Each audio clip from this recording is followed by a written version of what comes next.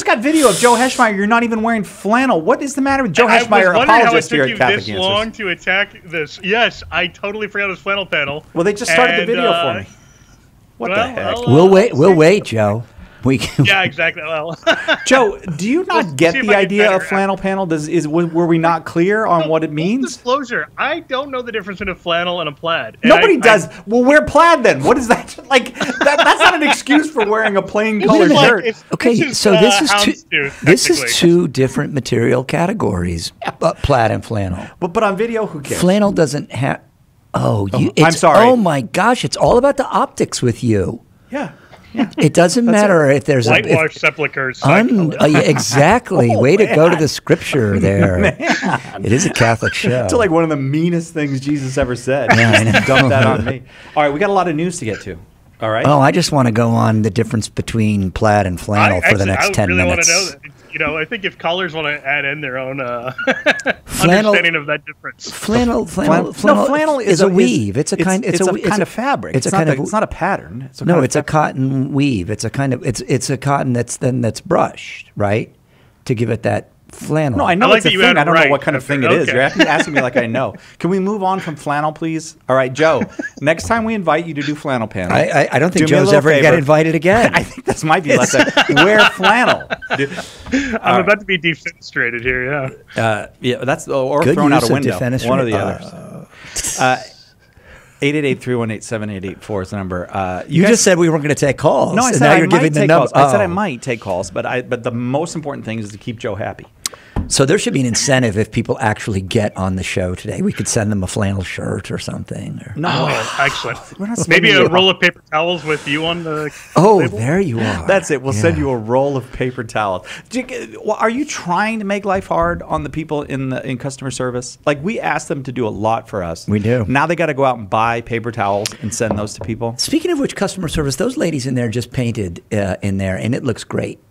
I didn't even know that they painted. And I, do you ever go in there and visit? No, you don't go talk to the little people. Cy, is He that doesn't what it? talk to the little people. what are you saying about Bernadette? Oh, well, she she is she is. Vertically challenged.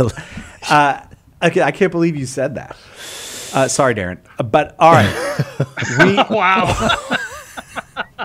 can we get to the news now? How does Mike? You've got that power, Darren. I want to say one more thing about customer service. Yes. If you're coming to the conference, Brooke, oh, she painted so beautifully. this crucifix. she is a real artist. It is extraordinary, and we're going to have it on display uh, at our conference. It's uh, her inspiration was the um, is the Cimabue Cimabue uh, crucifix in Florence at the big Franciscan church there at Santa Croce. Which uh, I thought we had in here at one time. No, it's have- not- yeah, it's not no, that that's one. Yeah, that's the other one. Yeah, Yeah, it is, and it, and she's done an amazing job. really has. Yeah. Um, all right, uh, I want to get to the news, and so uh, I I do want to assure both of you that. I ha- I have missed some flannel panel time. We haven't done a lot of flannel panel, but I do have NPR radio audio for you, and we're going to do it in the first hour. It's so NPR. I can't wait till the second hour to get to it. the, the unofficial fourth member of the flannel panel. but yeah, uh, yeah, right. Uh, uh, uh, Aisha Chang, uh, the unofficial member of the uh, flannel panel, and she's my favorite reporter there, and I, and and it's her story, and it's just, um, well, it's it's beyond description. But I, there is something I wanted to ask you guys about uh, before we did that, because Chris and I were just having a discussion in which. Uh, uh, Rosie was making fun of us because we can apparently not pronounce the man's name, and his name is Shia LaBeouf. And uh, she apparently made a video of us saying Shia LaBeouf about 10 times. LaBeouf. And, LaBeouf. LaBeouf. Uh, and, and so we, we're, we apologize to Mr. LaBeouf because we did not know. But uh, the reason. Shia the beef, I think, is what that means. LaBeouf? Is that what it means? The He's beef, The, yeah. Well, Shia that would LaBeouf? be LeBoeuf. LeBoeuf, right? I, I I'm not The way- getting into the this. way you're I was it, told like by someone under 30 that I was pronouncing it wrong, so I was pronouncing it wrong. But Yes. uh, you know, oftentimes seen as a very troubled young man. You know, he's uh, really Mm-hmm. because he worked for the Disney Corporation as a child. That's shocking that he didn't turn out, you know, just, Just as normal happy and well pie. adjusted. But uh, but now uh, seems to have come uh, to the Catholic faith, and uh, this is what Chris and I were talking about that about the people doing interviews with him, uh, uh, among them Bishop Barron. Uh, that is that really prudent to do an interview with someone who's brand new in the Catholic faith about their Catholic faith? I can understand why people want to do it, but I would feel very uncomfortable doing it. I, I want to get your view on it, Joe Heschmeyer. Yeah, it's it's a good question. I purposely kind of stayed quiet on this whole thing, but Mm-hmm. I'm glad I'm glad that I have to address it now. so, But say LaBeouf, because we got it wrong. LaBeouf. Yeah. Uh, well, I, I just say Shia because Oh, that's Shia, not Shia. Form of Islam Oh. with that name. No, Shia is the actual. Oh, okay. No, don't- don't make it worse I'm for not me, Joe. Thirty. I'm not under thirty. I can't pronounce actors' names. No. Well, so okay. My thoughts, if I'm gonna, they're they're a little scattershot, but they're as followed. One, if this if this is an authentic conversion, we need to lead with that. Like, there's more rejoicing in heaven, heaven God. over one Amen. Right. lost sheep coming home than in the 99. Uh, but two, there's reasons for hesitation. One of those reasons is he previously, in promoting a different movie, claimed to have converted to evangelical Christianity. That was like, I don't know, like six or nine years ago. Oh, I so didn't know about that. not be unprecedented for him to present as converting. He is what's called a method actor. Daniel Day Lewis is really famous for this, uh, or Day Luis, as you probably pronounce it. Um, My left It- foot, it- I'd pronounce it that way. Okay, go ahead. Is that Bertolt? Yeah, is that Bertolt Brecht me- method acting? Is It's that Bertolt Brecht. You're pronouncing it wrong. Yeah. Um, all right, Joe, back to your thought.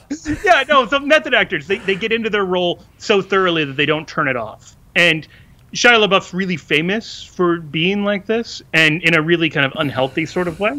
And so he's been playing Padre Pio. And so to what extent he, as a real life human being, behind all the masks that he wears, uh, has had this profound change of heart, and to what extent he is even off screen playing this role, it remains I to be see. seen. Oh, And then, yeah. so I guess the, the third thing to kind of add there, well, I guess uh, a few more things to add there. He's in the middle of a lot of accusations from uh, women who've worked with him. I don't know the full nature of them, but I know there are women who won't work with him in Hollywood. Women And or to not woman? I, at least one woman, but I think there have been multiple accusations against him.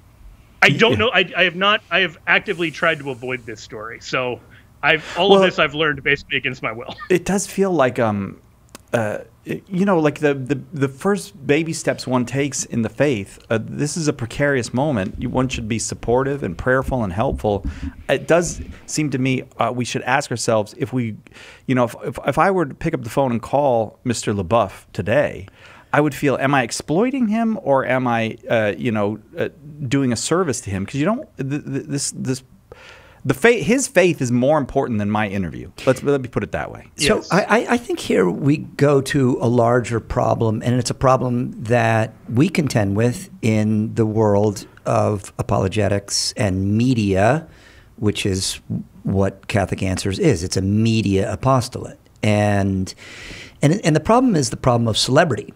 Yeah, well, and, that's right. Yeah. uh, and and it's not good to be a celebrity Catholic, and and and celebrity convert is um, it, it, it, it, the idea of a celebrity convert uh, clouds or obscures the point exactly or the, or the reality please god that joe brought up when he first started talking about this if in fact uh, sh- sh- sh- shia Shia yeah. has become uh, a Catholic, praise God, and the angels in heaven are are rejoicing. Rejoicing, absolutely. But but now is i i- this is an opportunity to draw clicks to my Instagram Podcast, yeah, or whatever, page or yeah. my podcast. Um, so Joe, you would and and and this is exploitation, uh, and and it is it is it is obscuring what potentially could be a, a, a real joy here. Um, the second thing is, uh, in, in, in the early church, uh, Joe, you would know better than I, um, recent converts were uh, discouraged uh, from saying anything. Among them, St. Paul. I The, the, the, the, Yeah, theolo- was gonna say St. theological for several years. Yeah, Yeah, go yeah, ahead. Go ahead.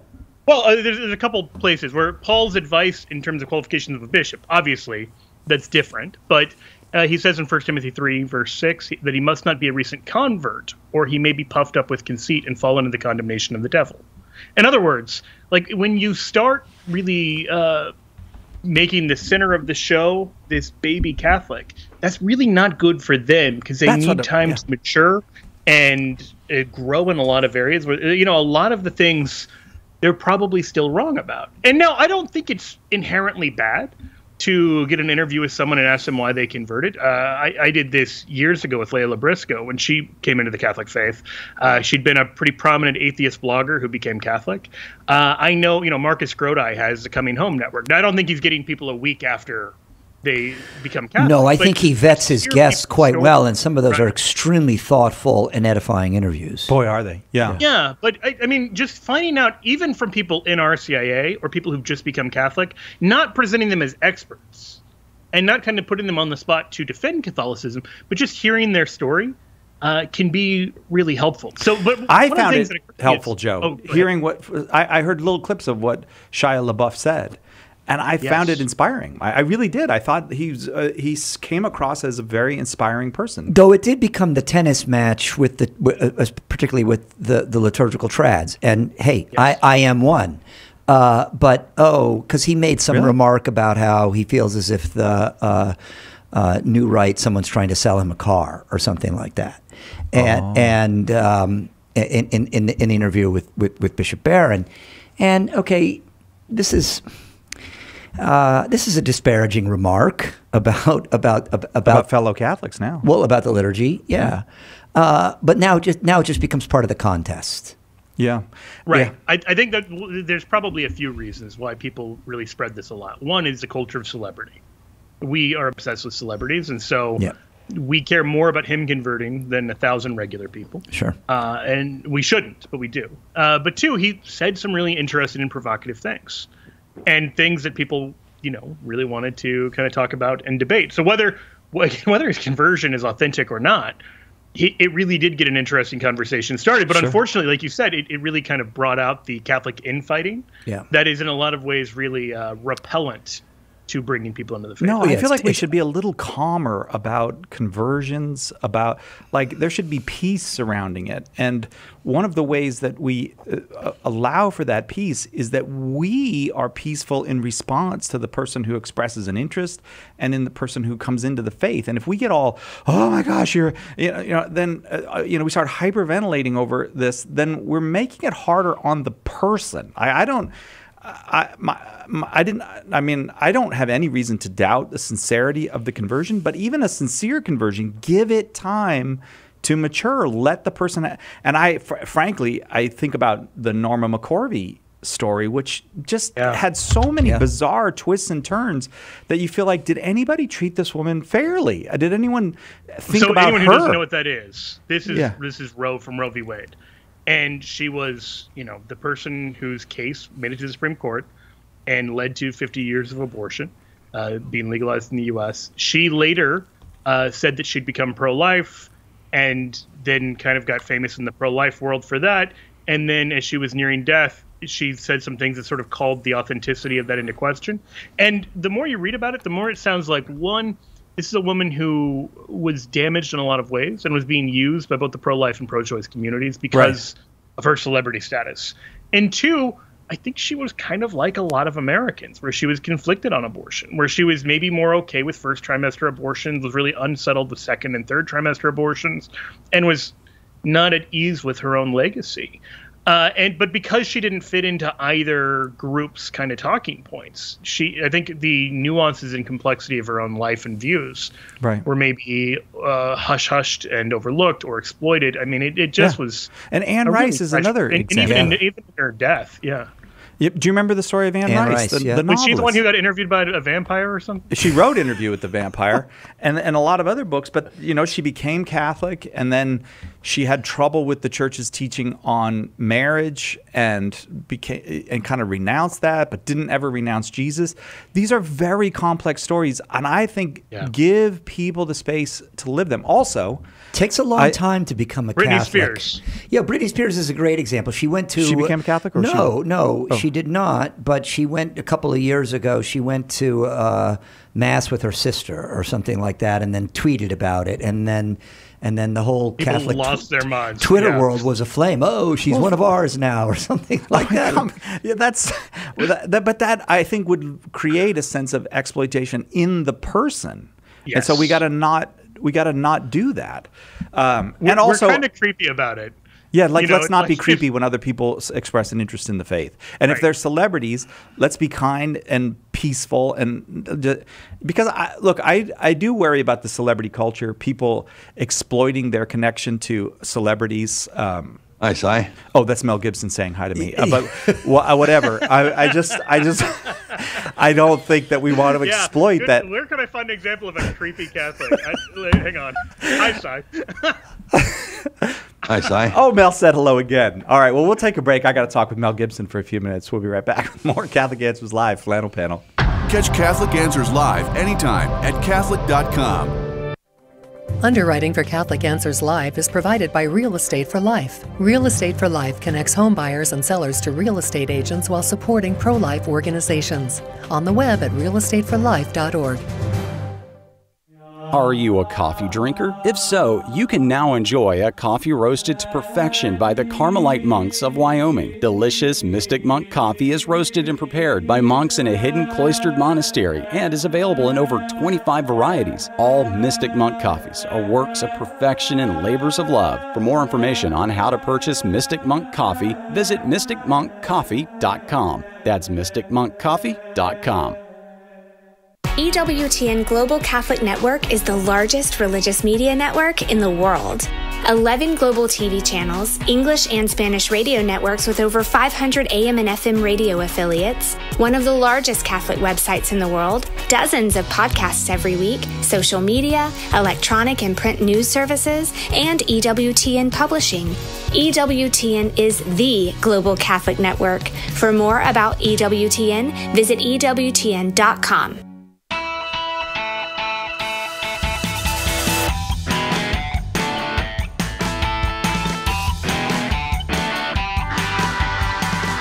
Welcome back to Catholic Answers Live.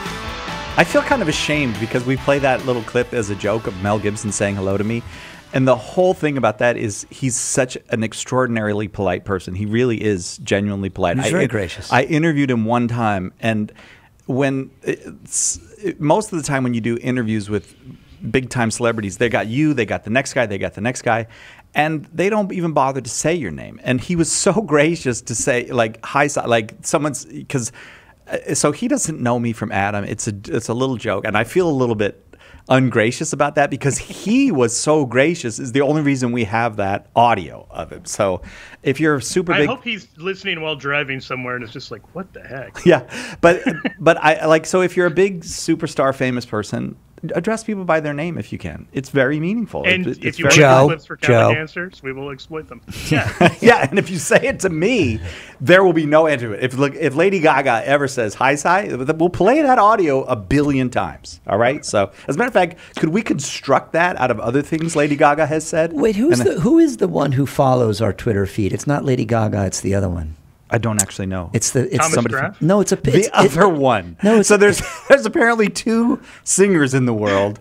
One of whom The world follows us. into This is camps. Chris's Wait view I think of it- how famous people work. No, the other famous person, It- not Lady Gaga. The other famous it's person. the it's, she, it, she's she's she's is it Gwen Stefani? Gwen yes, Gwen Stefani? Stefani. I, th- I was I right. knew that Okay. that's who it was Well, wait, be. so you- so Because just a minute, Chri- now, just a minute, In you Chris's knew. mind, there are two blonde ladies in the world. one of them's Lady Gaga. One of them's Gwen Oh, Stefani. there's more than one uh, blonde lady, but there there's two blonde Italian pop singers. Oh, I see what you're saying. Well, Yeah. there was Connie Francis. I see. Francis. I three if And- you include Madonna. Tony Bennett. Right? Yeah, right. Yeah. And Madonna. What, I mean, I don't know if she's blonde right now, but What's her last name? Like Ciccone or something. She has a great Yeah. Italian name. Gwen Stefani does But- follow our Twitter feed. Is that not right? That makes me happier than just about anything I've heard uh, all week. No, I think it's Like, true. If that's true, that makes me I, very some, happy. someone said it on 'Cause- the uh, on our screen, and they also said it's apparently Cinco de Mayo today. No, it's not Cinco de Mayo. It's Mexican Independence Day. You can't have Cinco de Mayo In September. In September, Joe. Do you know how Cinco de Mayo de September. Cinco? That, yeah, no, it's uh, Happy Mexican Independence Day. That is not Cinco de Mayo. Cinco de Mayo uh, celebrates a completely different thing. Joe. Is that independence yeah, from winning, winning a battle in a war that got lost, right? I was speaking to a, basically to a, an, a- an uh, official uh, Mexican just moments ago, and he has no idea what Mexican Independence Day celebrates. Yeah. So, I uh, Can we name him? A lot of things have happened in Mexican history. Today's Mexican Independence Day. You figure it out. That's Yeah. all I'm going to say because uh, it's uh, it's not the Treaty of Guadalupe Hidalgo. I can tell you that. Uh, the number is 888-318-7884 if you want to get involved in the conversation. But here, look, every time we do the flannel panel, I try to give you some good audio to respond to. And I uh, generally begin my search at NPR, National Public Radio, because it is literally the goofiest place on the radio dial. It's uh, And that's including our own show. Oh, that's including the Joe not wearing flannel to the flannel panel. Uh, like that, like exactly. All right. Goofier than Art Bell? I think so. So Ailsa Chang, uh, but my favorite NPR reporter, did a story called, and I'm going to read you the title of it, and, I, and then I got a little, a couple quiz questions, and then some audio. So you guys willing to do a quiz with me? Yes. And you can play along at home. There are two quiz questions that come with this. The story is called "How to Talk to Your Kids About Abortion." That's right.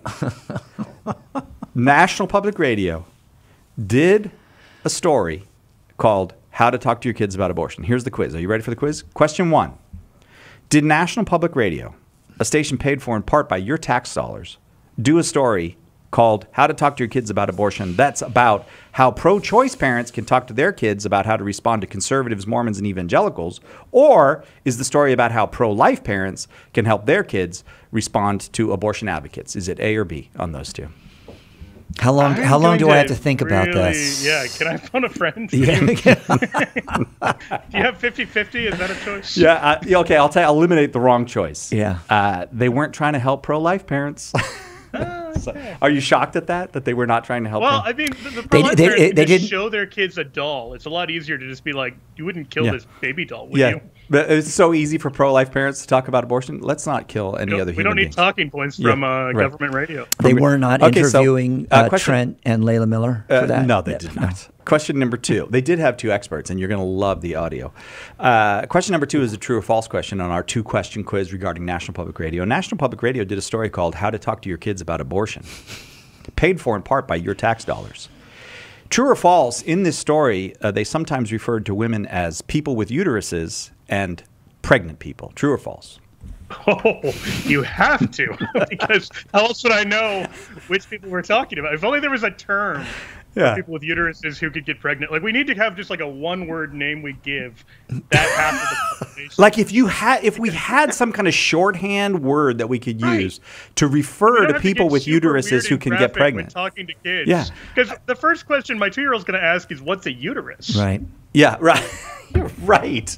Right. Pregnant people and uh, people with uteruses, that is actually how they refer to what used to be called in the olden days, like the dark ages, as women. We used to have that word.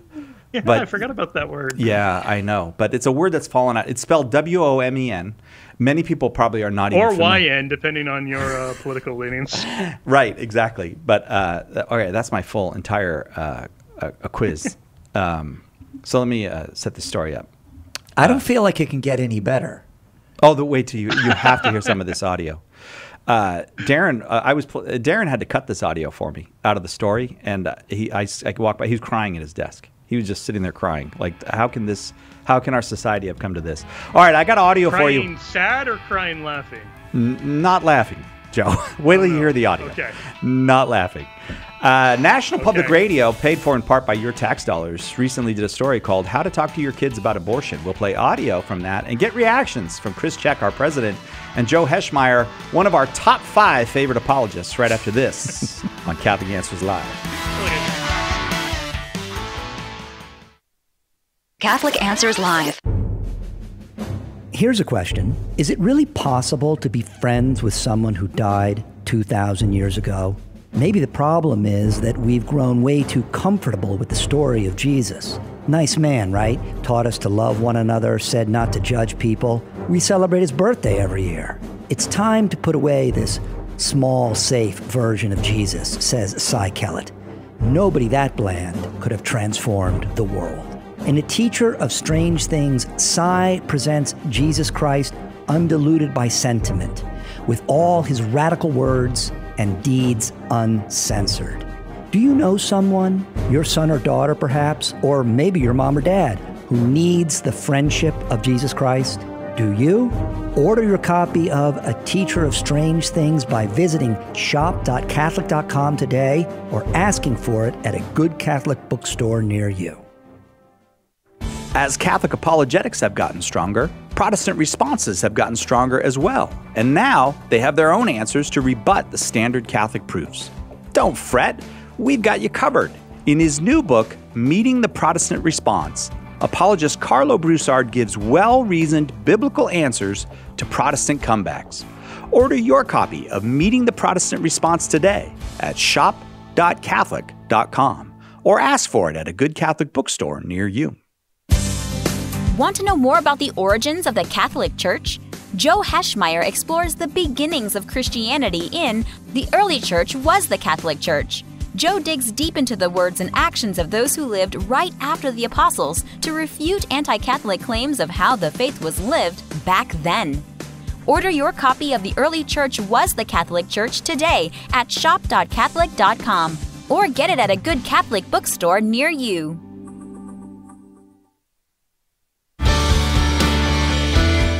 Monday on More to Life. Tripped up. Has the rug been pulled out from under your feet? We'll help you regain your balance. That's Monday on More to Life. Now back to Catholic Answers Live.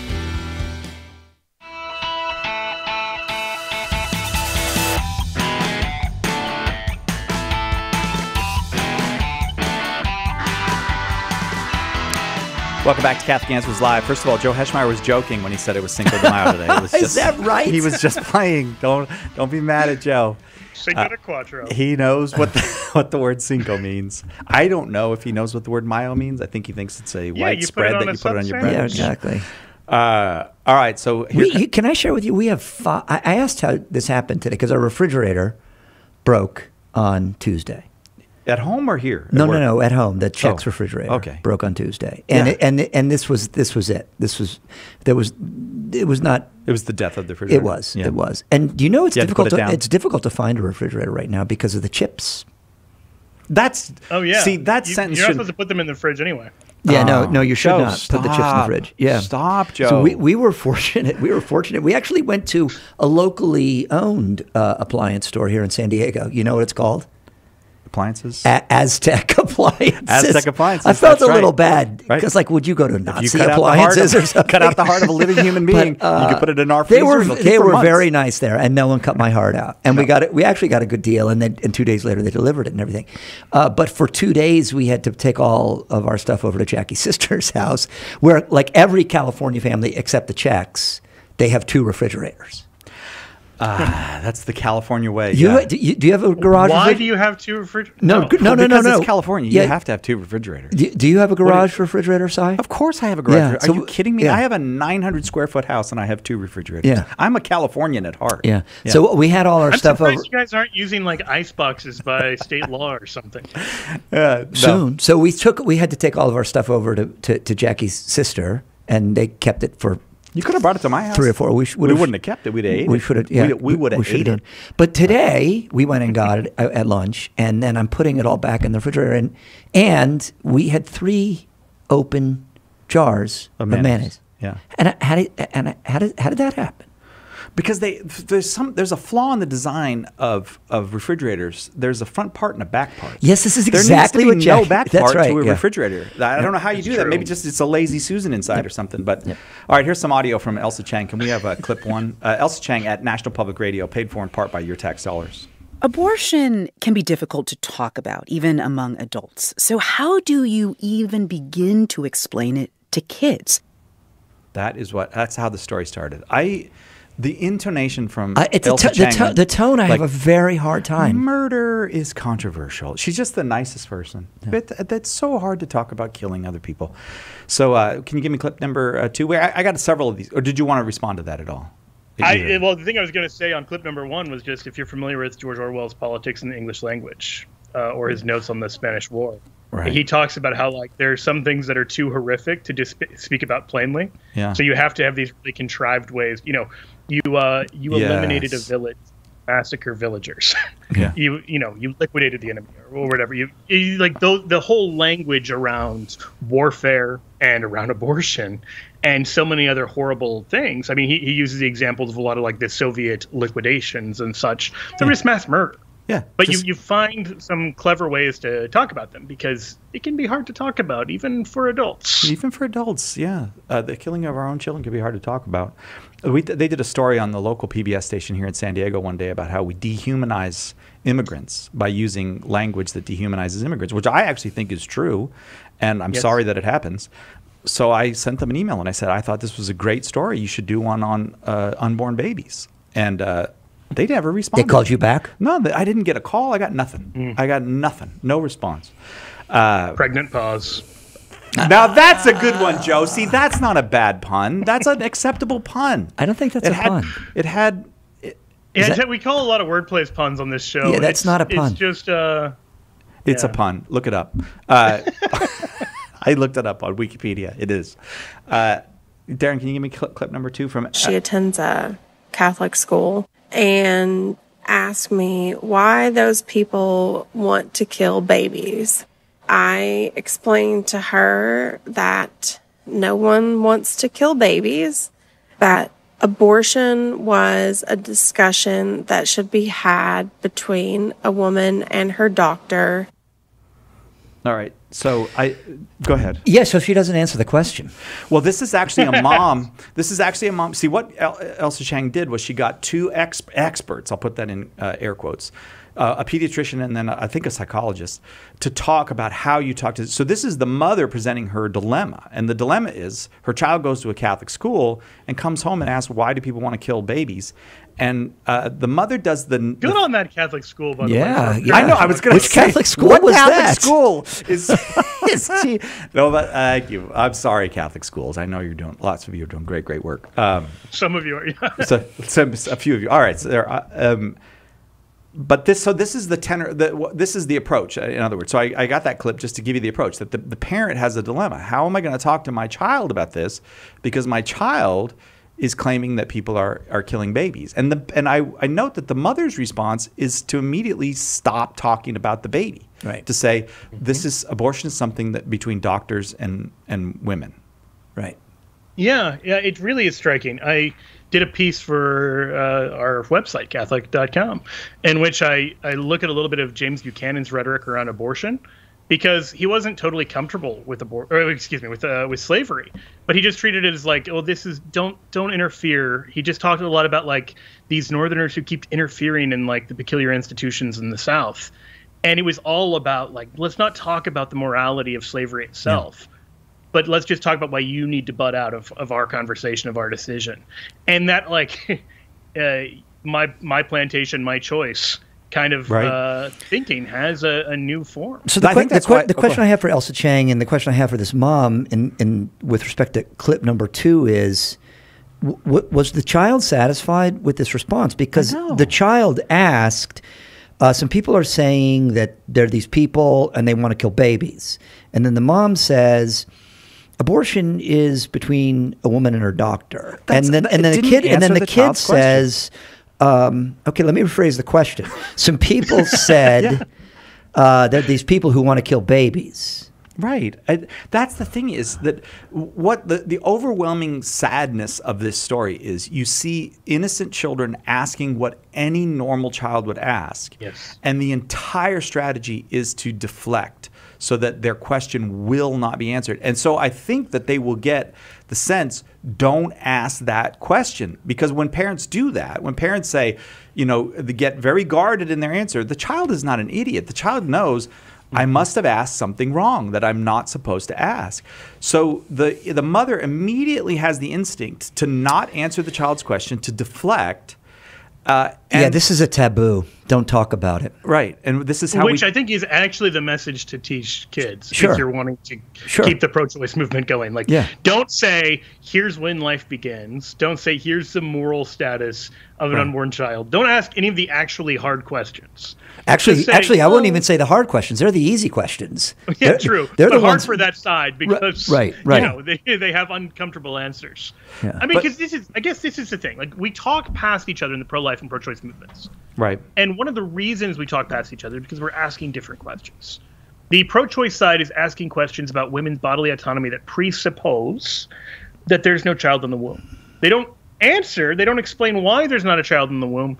They just assume that there isn't. Well, no can, one can you actually, Joe? Can I ask you? Is that really what they're supposing? I think I don't even think I don't even think they're making a judgment about what uh, an unborn baby is. I don't. e- I, Oh no, that's that's very fair. So uh, I, I think they're just. I, I, it's not a question of presupposing that there's no child in the womb. It's just we're just that part of this question, the central reality. We're not going to talk about. We're going to talk about everything other than that. Right. I mean, Which, I mean, by the way, is an- destroying it- it- a house, and, and someone said, "Hey, I think there are people living in that house you're demolishing." You said, hey, "You know, I'm, I'm not an expert. I'm not an architect. I'm just here to knock the house down. Mm-hmm. yeah. We don't need to answer that question. Different people could reasonably disagree." And you just think that is an entirely unsatisfactory answer. Well, it shows Because that it- it- obviously the answer to the question makes a world of difference. It shows that it's the central question. The, the fact that we're ignoring it is an admission on the part of the, whatever you want to call them, pro death, pro choice movement. Uh, the fact that they will not answer the question, ad, ad- ad- they're, they're admitting, they're admitting the reality. I think so. Uh, but- I, I think I, I- I think they know. I'm I'm I, I think the number of so-called pro-choice people who really hold to the question or hold to the belief, excuse me, that's not a human person. That is, that that has to be a minority. No, I think rather what they've done is they've they, th this is not something that's physically recognizable to me at this moment as a human person. So I'm not. I'm just uh, going to prescind from my moral responsibility. I, uh, there's a certain way in which you can just blind yourself to it. Don't think about it. Don't look at it. Um, Although you have to have it removed, so it's there. Well, that's it's like um, Dr. Phil the other day with who did he have on his show? Lila Rose was it?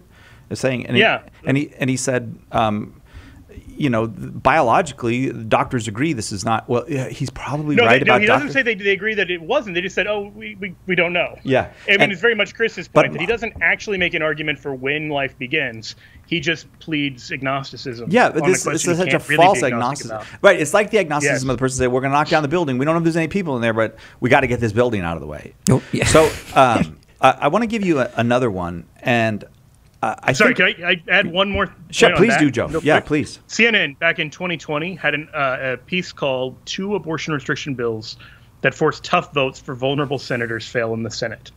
And they're looking just at the political aspect of Right. it. But in there, they're talking about the Born Alive uh, Abortion Survivors Protection Act. Yeah. And it referred to uh, a fetus that had been born, a fetus that was born, whether we should treat it the same as a baby.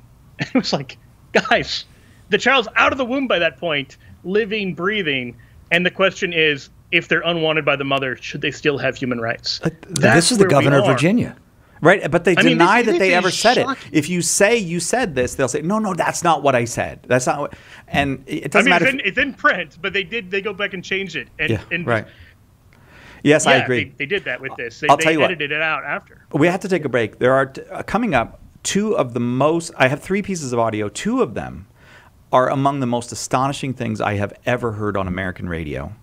And I've only ever listened to American radio and, and Mexican radio, so that's it.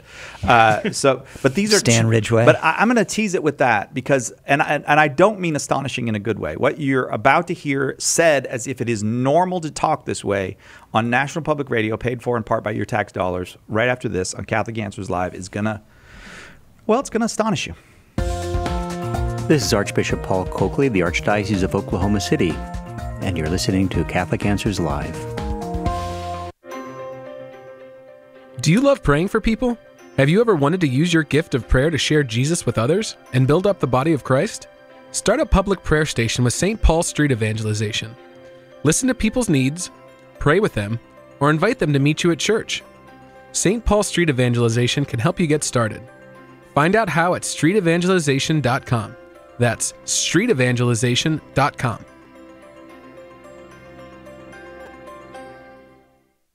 The most original and exclusive Catholic content is on E EWTN Radio. One time somebody said to me, Why don't you air these people? And I said, No, because I don't think they're Catholic. He says, By what right do you have to say that? I said, I own the network. Mother Angelica Live Classics. Every morning, 2 Eastern, on EWTN Radio.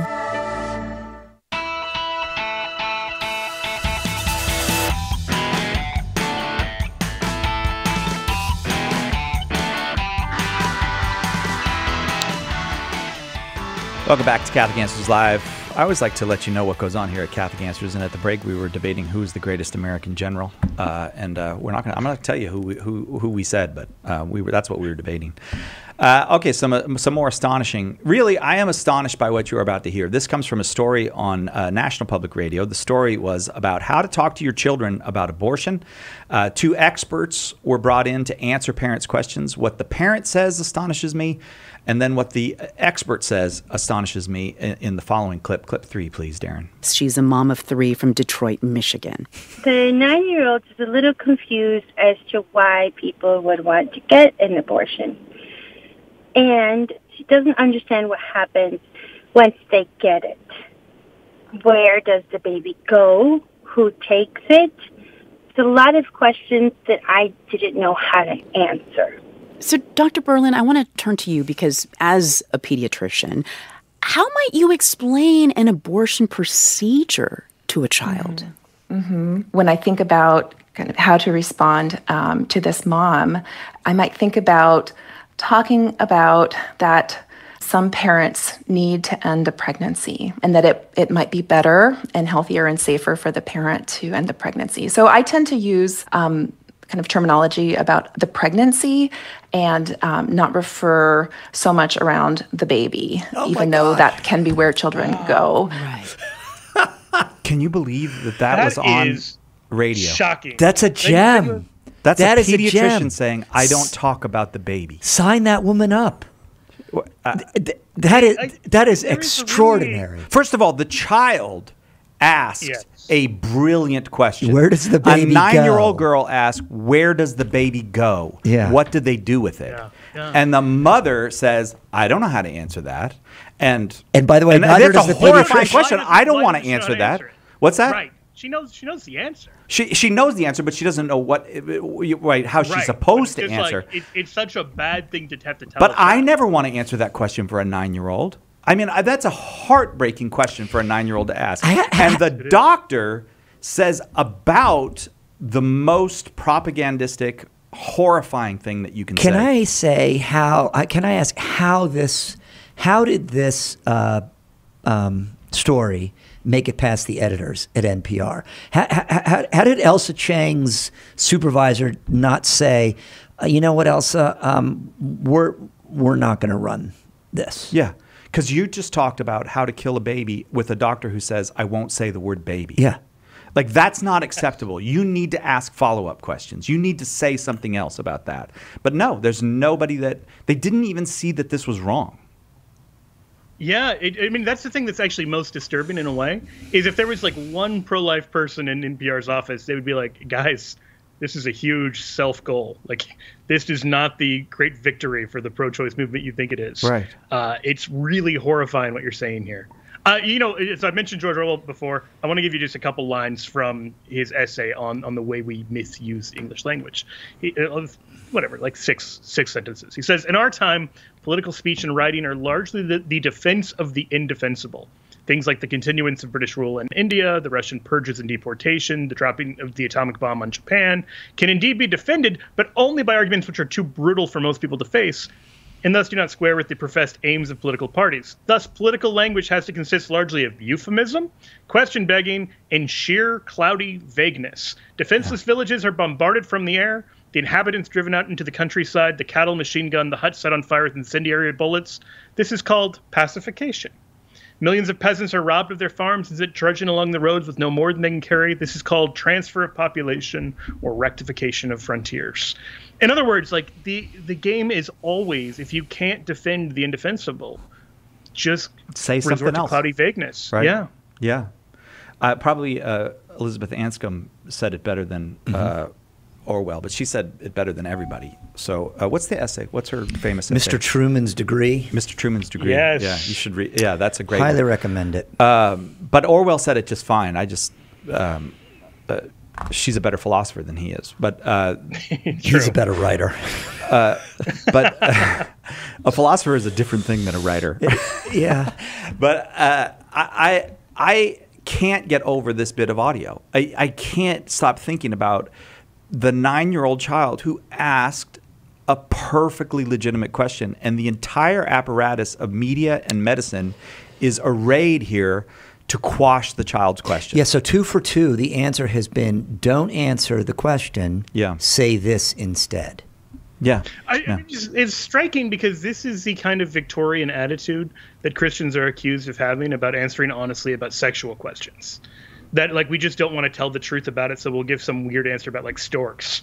Well, here it's something much worse that you, they just can't tell the truth about. Uh, It should be a huge red flag to anyone who's partial to this movement. Yeah. I mean, I, I think Why are you talking to children should like be a red flag. Right. Like one, why do you have to constantly lie or obfuscate or, uh dodge the question?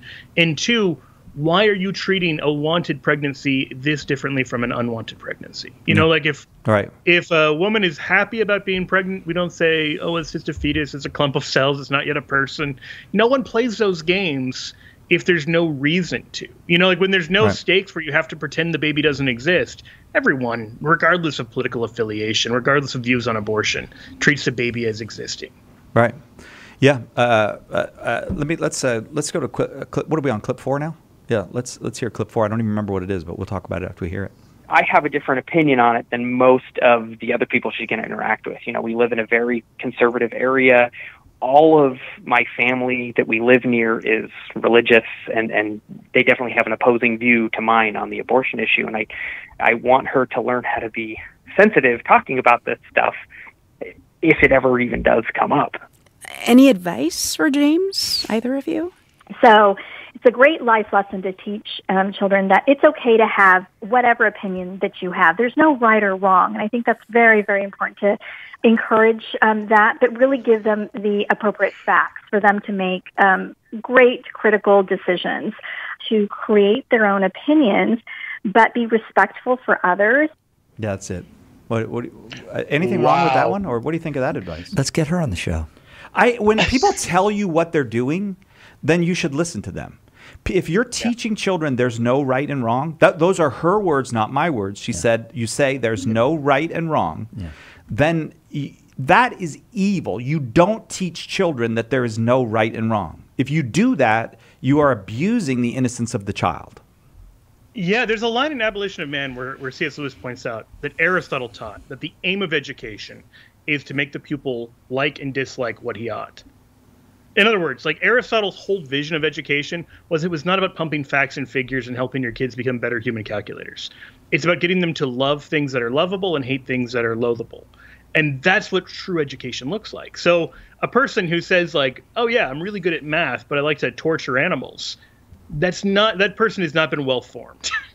And you can't just say, well, you know, everybody, the, the basic rule is there's no right and wrong. Believe whatever you want, do whatever you want. That is an insane way to try to run a society. And I, I challenge anyone to spend about 30 seconds thinking about whether they would really want to live in a society that lived by those principles. Uh, this is why, why I'm such an admirer of Ailsa Chang is her ability to just be completely um, open and and uh, casual uh, while people are proposing ver- absolute nihilism. Wickedness, You know, like yeah. I, yeah, wickedness, even worse than. I, well, know. the, the ability of people to hold the conflicting thoughts in their head, like affirming what is sometimes called cancel culture, that people should be uh, kind of run out of town for having discreditable views, and that there's no such thing as discreditable credible views, is really stunning to me as someone who doesn't agree with either of those kind of extremes. That how could we possibly say there's no right and wrong and still live the way we live in society? Because it isn't you know people say oh well we, we believe in this nihilism in society this relativism and we don't. We have a very strange and often arbitrary moral code but it's enforced as aggressively today as it ever has been. I mean there's more things you would get in trouble for saying now publicly than there has been in my lifetime for sure Uh, let's do the other clip, uh, Darren, because I realize we're about to run out of the hour, and I, I, I think I remember what this clip is now. But it, you go ahead and play it. Well, Dr. Berlin, I'm wondering what you're thinking. Like, as a doctor, how should parents answer when their child asks, Why do people choose to have an abortion? What's your advice there? One of the um, thoughts I have is how much information is going to be helpful and how much might be scary. Um, because I think what we don't want young people to have is to think that women are, are doing harmful things to themselves and to pregnancy and doing scary things um, and that, that the abortion is a scary thing. So i think we want to really support moms and dads in assessing kind of how much information is going to be healthy and good for the young person and then how can we explain that abortions are safe and um, they can really help families and women and pregnant people kind of move forward with their lives. But if we say too much then it's scary yeah. We yeah. Yes, so if we talk about a, dis, a, a dismembered uh, baby, yeah, yeah. Well, if we answer your wow. question, what do they do to the baby or with the baby? Yeah. That's going to be scary. It is scary. That's going to be scary. And a child. Berlin advocating the covering up of human rights abuses is almost too aptonym. You know, like. Could the, you say that again, Joe? I, I missed the beginning of what you said. Oh, I said someone named Berlin advocating the covering up of horrible human rights abuses. Yeah. Uh, the, the the term aptonym comes to mind. Like if someone wrote this in like a Christian fiction book, you'd think oh, right, that was a little yeah. on the nose. right, but that's exactly what the, this is. we do, we don't want this. Uh, um, this killing to be scary, but a child like uh, yeah. there is a certain way that that abortion is traumatizing to a child because they know well i was just there like they uh, like yes. like i how did i make it how did i get out of this yeah. terrifying situation where it's good for a pregnant person uh, to be able to, um, you know, have this procedure. Hey, that, I think this is a really good point that the child is putting themselves in the position of the child, and the adult is putting themselves in the position of a person who might brilliantly be tempted said, to have an John. abortion. I mean, uh, John. I don't know why I called you John right there. Not because brilliantly that was, said, That was like the Gospel of John. That's how brilliant that was. Uh, um, no, but it, said you know, Joe. like this is I mean, I've got a two year old, and so my uncle just died, and my daughter's been grappling with death with this. She asked in the car on the way to church on Sunday uh, if he was going to get better, and we had to explain that he wasn't. And then she was quiet for a long time, and we said, Are you thinking about Uncle Chuck? And she said, I'm thinking about Robin Hood. it was just like the just the inner workings of the child's brain. Like she's constantly thinking about babies. And so to combine an idea like babies with an idea like death, those are really big things to put together in a, a little kid's world that you can see why yeah. it's traumatized and rightly so. Yeah, uh, I, I, I, want to thank you very much, uh, both of you. We're going to continue in the next hour. We got more news stories to talk about. We'll talk a little bit about oh synods and synodality and uh, a whole bunch more things. Uh, uh, but I, so I usually I hang off on the um, NPR till the second hour, but I couldn't wait till the second hour uh, for that. It was. It, it, I, I, told Darren I, will just be jittery the whole first hour. I got to get this out of my system. Uh, it's horrible to hear it actually said. Uh, don't mention the baby. There's no such thing as right or wrong. Uh, that's what we're talking about when we're talking about American media, uh, American medicine, unfortunately, and uh, the entire abortion industry, the pro-choice movement. Uh, we'll be back to talk about other things right after this on the Flannel Panel on Catholic Answers Live.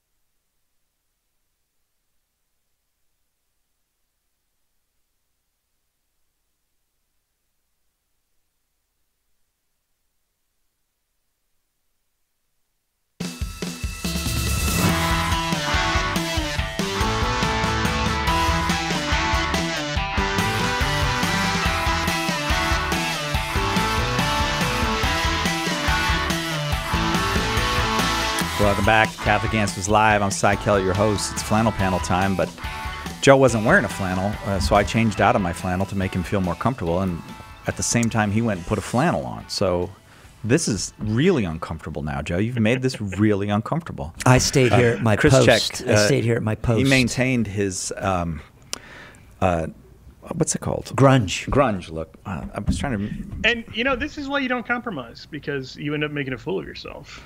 No, that's if you Chris assume. If showing you us, assume. uh, oh no, that's a different thing. Assume. Sorry, my bad. yes, I, I think I remember that one. Uh, Some bad news bears. Yeah, Bad News Bears. What? Walter that. Matthau, Tatum O'Neal. They remade that. You can't Poorly, remake a movie with Walter Matthau and Tatum O'Neal. Like it's not going to get better than that, than those two. Uh, eight eight eight three Is, one eight is the eight one eight where they four. had, like, like Tchaikovsky wrote the soundtrack or something? Or I don't know about that. I never heard about. Tchaikovsky It. Have we wrote gotten the any calls. Edgar? Is Edgar awake? Have we got- Da, da, no, no calls. da, da, da, Oh, we- da, Toreador. Who's that by? Is that that's not Tchaikovsky? Who is it? Is it who is it? I don't know. I don't know. I really don't know. I don't know. Uh, yeah, that's a great question. ask me. I Ask don't me know. who. People- ask me who wrote the Nutcracker hey, Suite. classical music nerds. Ask me that. call in Say who- uh, Tchaikovsky. answer that. Uh, You were supposed to ask me. You weren't supposed to answer the question. Tell Tchaikovsky the news. Roll over Beethoven. All right. Since we mentioned Beethoven, we can go to Germany. We'll talk about the German Synod a little bit. What? That was a good Well, segue. we had we had Doctor. We had I'm a radio professional. we had That doc- was a heck of a segue. We had Doctor. Yeah, we had Dr. Berlin, Dr. in Berlin. the last hour. I feel like you, you missed a shortcut. You know what I love about America, by the way, is this, Is it just one thing? This is relevant. Oh. This the is re- system of government? This is relevant. Uh, we're going to come to that, right?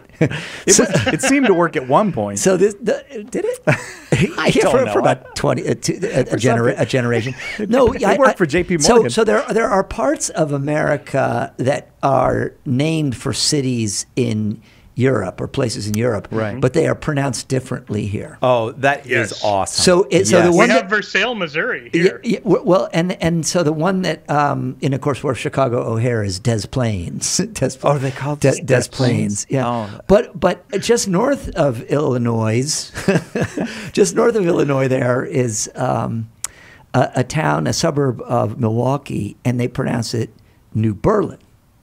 New Berlin, just because because Berlin. It's was New that, that was Berlin. what that was the problem was the I told pronunciation. I told you this. Uh, There's I a think lot of Germans up there. A lot of of European words. Well, this is a European slash Indian word. Kansas versus Arkansas. You may have noticed the last several letters the same. yeah. But they're pronounced differently by Arkansas law. It's not pronounced Arkansas. It's pronounced Arkansas to make it more like the French pronunciation. That's that's like that's, a that's a that's a legal thing. in That Arkansas? is a good. that's a good law. I support that law. I See, So, when that- and you were just criticizing American Kansas- government, but what other government in the world could come up with brilliant laws? like That that sounds like a law I that like would be passed by a monarch, laws. Yeah, actually. yeah. Yeah. Well, I, we, we were going to talk about Elizabeth, the monarch, a little bit, but I want to talk about the. You guys don't want to talk about synods at all, do you? Neither of you took the bait at all. Well, I, I mentioned German abound, synod. Grace abounds all the more. Oh, don't say that. well, you're talking about the German synod now, because that German synod seems out of control to me. I'm sorry. I'm not a great theologian, but a lot of that stuff seems like nonsense coming out of that German synod. Does it scare you at all? I mean, you, well, the thing that, about the German, German Synod, one, this is an extremely wealthy church because they Yeah, that's uh, They're paid for by tax- tax- government mandated taxes that go to the church. You have to officially defect from the church. So imagine if like tithe dollars were collected from every nominal Catholic in America uh, by your taxes. Uh, the American church would be obscenely wealthy. And so the German church is obscenely wealthy and gives a ton of money to other churches, especially in places that were, um, shall we say, had a negative history with Germany in the mid part of the last century. So Oh. a lot of Eastern Europe, uh, you know, these churches are heavily subsidized by the German church, which gives them this. Uh, I don't want to say sense of entitlement or arrogance, but you know, you do the math. but you're Look looking for a word in that area Yes, that I'm maybe doesn't. deny it if someone else said yeah, that. find Right. your own word, but it's in this general area. Yeah, right. right. Like the actual mass attendance numbers are abysmal outside of especially Oh, it's like. Bavaria. Yeah. It- it's incredible how much the church is just falling on its face while Germany goes off the rails in terms of its relationship to Christianity, has been for decades and decades now. Uh, but nevertheless, feel like they're just at the forefront of something new and exciting. uh, when it's just like, do you not notice the car is spinning out of control? Yeah, Well, well, why and- is and- and- 1973 new and exciting? Like, uh, doesn't it feel a lot, a lot like Back to the Future? Like we we had these discussions, and I guess we it, it kind of felt like there was some kind of resolution to this that we were moving forward. Like, uh, but I guess maybe I that was an illusion on my so part. So it's just not spinning out of control. It's just spinning into into even more irrelevance. Uh, it- the- It's the- true. I mean, the- the, the last handful time- of people who still come are just yeah. That that'll be the end of it. Right. Well, the last time these were like interesting and debatable topics was when your musical references were still timely, Chris. Yeah. yes. Yeah. Yeah. Oh, that was good. That was actually funny, Joe. I'm, I, I guess I get kind of. A, I'm like a deer in the headlights when you say something funny. It I- I- surprises I, me began, so I began the last hour by talking about Lady Gaga. Isn't that not contemporary? That's true. Before you I don't know. If, is she a singer still, or is she an actress now? I think she's gone to be, be an actress. I like her as an actress. I think she's really good. I've never seen anything she's done. Really? You No. didn't see that? Um, The seventh, that, that, the that one seventh movie, remake of A Star Is Born. Oh no! I've I- never seen any version of it. Why was uh, there even one remake of A Star Is Born? Like it's a A Star is. Reborn? Yeah. Uh, well, anyway. Star is Born again. But that I think it was Gucci that movie she made. Oh, yeah. Was it Gucci? House of Gucci? yeah, didn't- House of Gucci. I She's haven't talented. seen it, but she's, I'm aware that it exists. Yeah. Oh, what's her That, name? speaking of method acting, apparently she was totally in that role even when she was not on screen. I'm gathering from the tenor and direction of this conversation that nobody here wants to talk about the synod well, or I think synodality. The German synod thing is so it's so easy because Okay. here's what I was. What is it? yeah, right. Like I think the the uh, drive and the appeal for it is, hey, we're losing a lot of people, and a lot of the people we're losing go on to really accept a bunch of worldly values. Should we be more like the world to be attractive to the world? And the answer, if anyone's paid any attention in the last 50 years, is no, that doesn't work at all. And if you want to see it doesn't work, look at the mainline Protestant denominations that have gone that route. Sure. And they're losing people way faster than we are. The Episcopal Church Like, of the United States. Right. Yeah, and so it's unfortunate. In the U.S., we're, we're blessed to have a natural experiment, right? Like we've got a control and a variable. We can say, okay, if you stay kind of sane, like we did, here's what we're going to get. And it's like, well, pretty bad results. If you go totally insane, what do you get? Well, even worse results. Okay. So that doesn't mean there's nothing to learn, but it's like the one solution getting really proposed and proposed. Yeah. So he- like tried and He- Here's here's what I want to say in response to what Joe has just said there. I'm not sure that that is that is still a description of, of what is underway here. I would be prepared to um, accept or uh, stipulate that that was going on uh, 50 years ago or or 60. Uh, but now it seems to me simply to be a case where I want the institutional justification for my own deviant ideas and behaviors. That actually is what is underway. Here, here's my It- basic it- problem, it- though, it- with the logic of it. And the logic of it seems to be secular society has had all these moral innovations over the last 70 years. It's actually over the last 100 years, but let's just go, go with the more recent moral, obvious moral innovations. This has destroyed the family. It's uh, impoverished uh, women. It has actually not enriched women. It's impoverished women both materially and uh, as far as um, the way their women are, are treated and their actual experience of happiness in the world. Uh, it's turned men into uh, useless appendages, or feeling like useless appendages, who are, are stimulate themselves with video games and pornography, and and have very little else that is motivating to them. So let's imitate that in the church. That's the way that that's what the logic seems to be. Like that that's Although going I think so well. Chris is suggesting another set of motives, which is, you know, and, and I think to give Chris's view. Now, I don't want to disparage the well-intentioned but misguided motives of the people with whom I disagree here, but I think he's right about some portion of of the number where their own personal sin uh, may be a factor in why they want to see the bars lowered. So, if, so terms- if, if we take it out of Germany, for example, and uh, look at the quote from a week or so ago of the recently appointed, is it was it a Brazilian cardinal, who said that um, a, na- unnatural sexual acts would not be a sin among unbelievers. Did you all see that? Oh, I did not see that. That's a very odd thing to say. Yeah, so I so we'll have to just double check. But I think it, when it, was a recent appointment in the latest dicastery, uh, and I think from Brazil. Okay. Now, why would someone say this?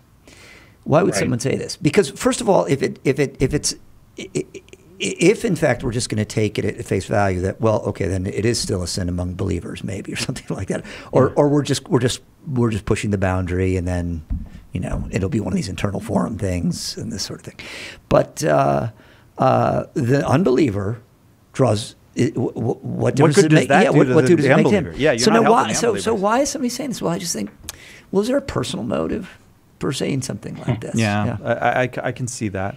Um, but yeah, I that seems uh, yeah that kind of seems undeniable in a certain So way. I that- so uh, so so fifty. I, I, I'm prepared to allow, even though no man who could have gone through uh, any kind of serious philosophical or theological training uh, could uh, say, let's let's accommodate the church to the world and see how many people want to belong to it. And yet, I'll, well, I mean, the, I'll the, the era in which a lot of these guys were coming up is when a lot of these bad ideas flourished.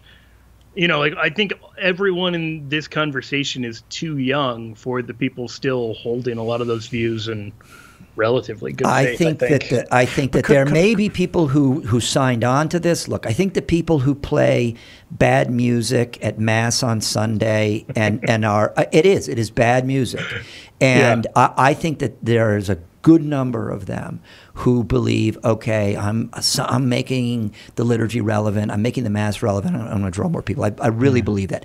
But the authors of it. They know exactly what they do. What they're, They're doing. ruining it. They know exactly how they are destroying or attempting to destroy liturgy. And, and, and, and in the same case here, morality. I gotta uh, just. I, I've got wanna a, really switch- good example of this, if, if I may. Okay, give, how about this? the- but Joe, Joe, I'm going to let you give your example, and then I'm going to take a break. And when I come back, I do want to make a distinction between Pope Francis's synod and synod on synodality and Yes. the, the, the German one because I, I, I feel like maybe Synods do accidentally abound here. I glumped I clumped them Yeah. together, which is a really good word. But uh, and, and I want to separate them because What there- else there's can you do with a synod but clumped it? no, there there is something that Pope Francis I think is attempting that's worth taking a minute to think about. Uh, and I don't feel that way about the German synod. I feel like stop it. It's just so. Go ahead and make your uh, point, Joe. Okay, then we'll take a break. Then we'll come of- back. You know, the Spotlight series, the Boston Globe had a whole series that exposed the sex abuse scandal in the church. Yes. One of the articles is called "If They Knew the Madness in Me," and the subheader is about uh, Father, then Father, later laicized Paul Shanley, who is one of the worst abusers. Yeah. And it said a search for the real Reverend Paul Shanley suggests he was part hero, part horror. They called him part hero because he preached sexual immorality being okay. And you think, well, why do you think he might have preached that? Because he was actively living that Yes, out. yes. And so they, they praise him as being this great figure in the gay rights movement because he actually preached what he practiced. It's insane That when you go back and read this. Can I share mean, with you? This is, the, this is the precise sort of schizophrenia that informed the conversation of the previous hour. Uh, with respect to well, it's a baby, it's not a baby, or it's a baby, but we're not going to talk about it. So, it, so, so it's the it's double think. You've been you've been bringing up Orwell the the, the entire afternoon, Joe. It, it, it is it is holding two contrary realities. Uh, or, or, or, or facts, if you will, or truths. One may not be a truth in in in the imagination or in in the mind at the same time. So Hmm. Paul Shanley is a hero because he he preached that sodomy is is just fine, and yet here was a man who was guilty of this behavior, and that's a problem. Well, it's one or the other. But if you if you can Right. practice doublethink, then there you go. Well, that but the, the, problem is they their morality. The people, person who says that the, the morality is entirely a consent morality. If two adults consent, you can do whatever you want. I mean, Uh, they yeah, literally it, have. It, it yeah. is today. Yeah. It is today. It's But consent, but the but the age of consent keeps dropping, and yeah. Yeah. All right. We do have to take this break. I want to talk about, to be fair to Pope Francis more, more than anything else, about the synod on synodality when we come back right after this on Catholic Answers Live. Miss a show? Make sure to catch up by downloading the podcast, available online at Catholic.com. Underwriting for Catholic Answers Live is provided by Real Estate for Life. Real Estate for Life connects homebuyers and sellers to real estate agents while supporting pro life organizations. On the web at realestateforlife.org. He was a doctor of the church and one of the greatest defenders of Christ's divinity. Matthew Bunson and the Doctors of the Church. St. Athanasius of Alexandria fought against the Arian heresy that questioned the divinity of Christ. He once condemned the Arians as opposers of Christ who had dug a pit of ungodliness. It was said of him, Athanasius contra mundum, Athanasius against the world, but for Christ. He died in 373. For more about the Doctors of the Church, visit doctorsofthechurch.com.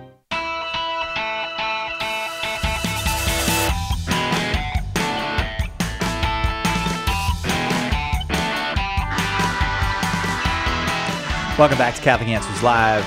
Talking about the news of the day from a Catholic perspective. Some of it Catholic news, some of it general news. We're talking about it with our president, Chris Check, uh, with Joe Heschmeyer, a very uh, fine apologist and uh, the author of a whole bunch of great books, including a man named Joseph. And Joe Hesch- Guardian for Our Times. And Joe Heschmeyer will be with us next week in San Diego. I know it's still going to be good though. Don't let that keep you away. uh, okay, Joe. Uh, here's the thing. Bully I- me in person, but pay for a ticket. the uh, uh, Pope Francis has a problem, and here's the problem that Pope Francis has, and it, to me, it's uh, the same problem that every pope uh, since at least John the Twenty Third has had, and that is uh, an awareness That you don't think they're valid? Oh. no, I, I do think that they are valid popes. Yes, uh, no, but I think this is Wrong, s- wrong Catholic Answers host. Please don't talk like that on the air, Joe. Please wait till at least we're in person at Uh, the. just, just kidding. No, no disrespect to anyone. Oh, I hope that. Oh, is that the most disrespectful thing you can say? No disrespect to anyone. I hope that blows up on social. Uh, now I've lost my train of. Oh, here's the problem. Okay, the the model that we have of the church is a, a model of uh, consultation with the Holy Spirit as the mode of resolving issues and, and moving forward. Uh, This is, I think, a biblical model. That is the I'm thinking of the Council of Jerusalem in particular, but the way that the the church has functioned and the way we were taught by the apostles to function as a church is to consult with one another as a means of consulting with the Holy Spirit. The church is now a, a church of about 6,000 ordinary bishops. Uh, Ordinary, for those who, an ordinary bishop is a bishop with a diocese. Uh, probably 12,000 total bishops. Uh, well over a billion people spread over huge geographic distances.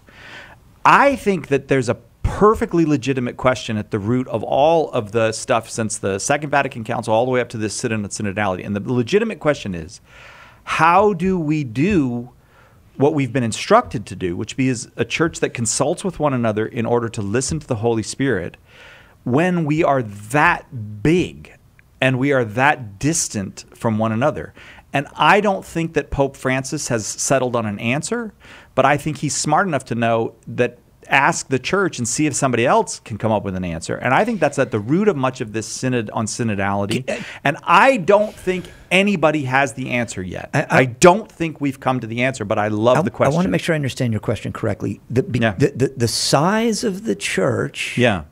You are suggesting the size of the church requires a more uh, diffuse. It, it requires a mode of consultation that we have not figured out yet. That's all I'm saying. That the Yeah, so if I'm going to put your your point in other words, right? No, this is in always Acts fun for 15, me. which you, you alluded to. Acts 15, verse 6 says, The apostles and the elders were gathered together to consider this matter. Yeah. So you have a time in the church's history where you can get all the major players together in a room. And We just don't exist in that age. No. Right. Even determining who the major players are is a, a lie. Well, this is You a problem. this is a problem with the Synod on- a red hat. Yeah, but this is a problem with the synod on synodality. Is essentially what the pope did was ask dioceses to ask their people, individuals. Mm-hmm. The, di- the, the the the pope did not consult with with uh, religious orders. He did not consult with institutions like us. No one sent a letter to Catholic Answers and said, "How does your apostolate feel about this?" So the church is actually an institution of institutions, and he skipped right over all the institutions and went directly to the people. Well, that's I know that that's very democratic, but is that what the Holy Spirit wants? And I'm not saying this as a as like I, I'm that the Pope is doing something evil. I'm saying that the level of creativity required to do to consult in the way that we need to consult now with one another has not happened yet. It, the, we're missing something as a church. I'm not sure I agree with you at all, All Cy. Okay. I, I, I, I Uh, don't, that's a good sign, I do not Oh. know. Go I, ahead. I, I, I don't think the number of people that a an, a, a man in authority consults with is necessarily correlated with the um, quality of the counsel that he's going to get. And at some point, it becomes reduced to the absurd because there is. This is one not on the executive committee. well,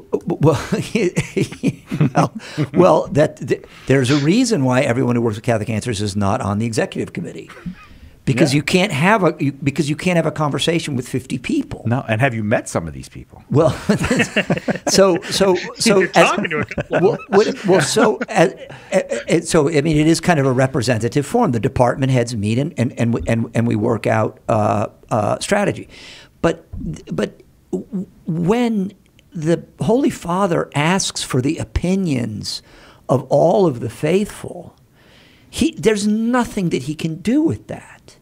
He cannot he cannot do anything with all of the answers. He he he. It may be possible that uh, some particular flash of insight, although when everyone is given five minutes to speak, how much really depth is going to be there. But it may be possible that some flash of insight is going to make its way up the chain of command there. But this is, seems to me very, very unlikely. And so, Well, yeah, I- I'm, I'm thinking of uh, Munificentissimus Deus, uh, paragraph nine, when Pius XII is talking about the Assumption of Mary, and he mentions that there have been thousands of petitions from every part of the world, every class of people, uh, from our beloved sons, the cardinals of the Sacred College, from our venerable brethren, archbishops and bishops from dioceses and from parishes. That even then there was this question of like, well, how do we get that sense for what the sense of the faithful is? Not that like Catholicism is determined by majority vote, which is really critical to stress here. It doesn't matter Right. what percentage of, of Catholics ignore church teaching on contraception. No, the whole That church was Arian at one point, or pretty much. Yeah. Yeah. Uh, well, bishops you anyway. Yes, exactly. Uh, and there are even a couple of exceptions. As always, God preserves a few bishops. Sure. Um, but you know, so there, there is this this question of just how do you do good data collection, and I think this is something that we're seeing in the synod is not going great. I mean, you say you have this problem all the time. Like think about Right. the polling problems we see in politics. A lot of those problems aren't necessarily problems of bad faith. They're just questions of how do you get a represent a representative sample of what people believe and and what their views are. Not that you even have to follow it, but just you, you should know it. But it's very difficult to know it. Okay, You know, I'm, I'm, gonna- is- I'm going to Yeah. say something here that, Yeah. that, it, that, it, that is sure to offend. But there are, there are some things about which many, many people, including many of the faithful, myself included, do not have a right to an opinion. I'm not a theologian. I am not a theologian, right? I'm I'm the guy that keeps the parts moving here at Catholic Answers. But on on on some theological questions, on many theological questions, I don't have a right to an opinion or a doctrinal one for that matter. In fact, this is why, in fact, God gave me this church because He said, Chris, there are many things that you don't know. But that's okay because I have established this hierarchy to look after you. And this is not saying you I don't know, feel offended by that. Okay. I, I think that's quite sensible, actually. so, so, so I, I, I wonder if, in fact, there is a little bit of an illusion that is trying to be perpetrated here, and that that sort of implies a kind of dishonesty. And I don't mean that, but oh, uh, but but but. Uh, not that we're deliberately trying to deceive people that they are involved, uh, you're part of it, and that kind of thing. But look, just because you can do uh, the kind of data collection that modern communication technology um, enables, even then I'm doubtful. That doesn't necessarily mean that it's a good idea to do. No, but I, but yeah, yeah. St. Gregory Nazianzen, I, I think I have a quote relevant to this. Uh, Gregory Nazianzen, talking about the Christological debates of his day and the fight against Arianism, said, It has gone so far that the whole market resounds with the discourses of heretics. Every banquet is corrupted by this babbling, even to nausea. Every merrymaking is transformed into a mourning, and every funeral solemnity is almost alleviated by this brawling as a still greater evil. Yeah. Even the chambers of women, the nurseries of simplicity, are disturbed thereby, and the flowers of modesty are crushed by this precocious practice of dispute. that in his day, like everyone was debating nuanced Christology. Now everyone is just getting involved in like church politics and governance issues. That, But- you know, in, in a sense, you're right. Like there is like what I think about X, Y, and how the church is running doesn't matter. But it might be good for the church to know the sense of the people in that regard. Uh, but all that being said, the church resolved the Christological debates perfectly. Came the, the answers are beautiful. So But it probably wasn't hammered out at a funeral. no, but that's part of the process. Do, I mean, do, the, no- do the church authorities really not know what the problems are? we got to take a break. Right back.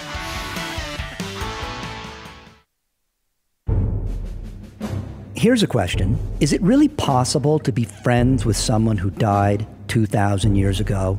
Maybe the problem is that we've grown way too comfortable with the story of Jesus. Nice man, right? Taught us to love one another, said not to judge people. We celebrate his birthday every year.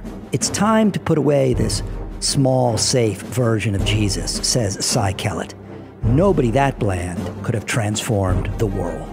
In A Teacher of Strange Things, Cy presents Jesus Christ undiluted by sentiment, with all his radical words and deeds uncensored. Do you know someone, your son or daughter perhaps, or maybe your mom or dad, who needs the friendship of Jesus Christ? Do you? Order your copy of A Teacher of Strange Things by visiting shop.catholic.com today or asking for it at a good Catholic bookstore near you. Have you enrolled in the Catholic Answers School of Apologetics? Let me ask you a more important question. Do you believe as a Catholic that you have an obligation to share the Catholic faith? In fact, the Church has answered this question, and the answer is that all confirmed Catholics are obliged to share the faith. It's actually in canon law. Catholic Answers is here to help you fulfill that obligation. Our School of Apologetics courses will equip you to help all the people you come in contact with understand what the church teaches and why. A great place to start is with all the Catholics in your life. Learn the art of apologetics from the best of the best and start sharing the gospel today. Visit schoolofapologetics.com. That's schoolofapologetics.com. Did you know you can access Catholic Answers Live right from your phone or other mobile device? Download the Catholic Answers Live app today. The Catholic Answers Live app, available now on iOS and Android. Monday on More to Life. Tripped up. Has the rug been pulled out from under your feet? We'll help you regain your balance. That's Monday on More to Life. Now back to Catholic Answers Live.